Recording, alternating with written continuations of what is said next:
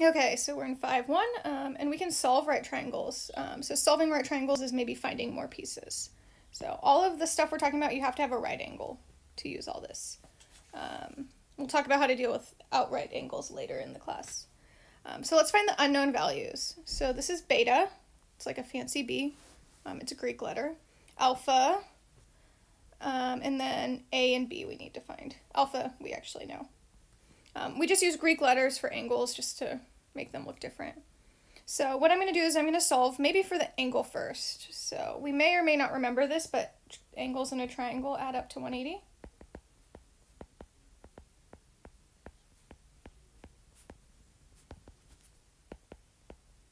So right angles are 90. So we have 90 and 60. So we'll just have to do 180 minus 90 and 60. And we should get 30 degrees for beta. So we already solved for one piece really quickly. So we have all three angles. Um, and then we can just use some trig functions to find a and b. Um, so tangent of 30 isn't useful, and let me show you why. Because tangent of 30 would be b over a, which means we have two unknowns. So that doesn't really help me right now. Um, so maybe I'll try sine or cosine of 30. Um, so sine of 30 will be b over 4 root 3, right? Opposite over hypotenuse.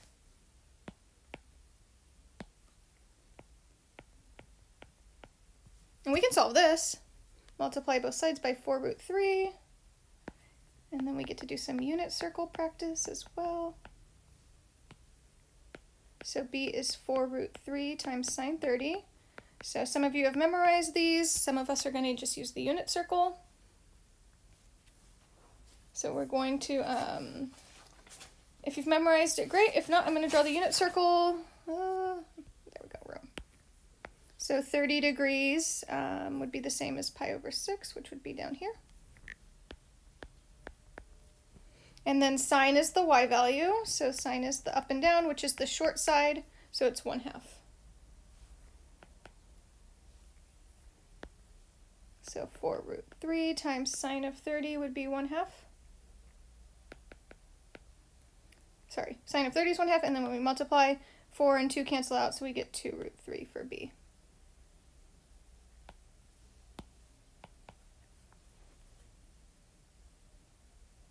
Cool, and then I guess we can use cosine to find C, to find A.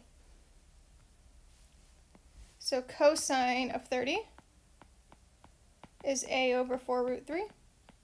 So we multiply by 4 root 3 again. They cancel out. So A is 4 root 3 times cosine 30. And then we already drew 30 degrees, and then cosine is the, um, the horizontal or the x, so that would be root 3 over 2, because it's the long side. So we get 4 root 3 times root 3 over 2, um, which brings us to 4 and 2 cancel to give me 2. 3 and root 3 become 3, so we get 6. So A is 6. And we've solved the right triangle. If you wanted to check your work, we could use Pythagorean theorem. Um, so just a quick check. a squared plus b squared, we want to make sure it equals c squared. So 6 squared plus 2 root 3 squared. We'll come back to the right side. 36 plus 2 squared is 4. Root 3, it becomes 3. So 36 plus 12, 48. And then my c would be 4 root 3.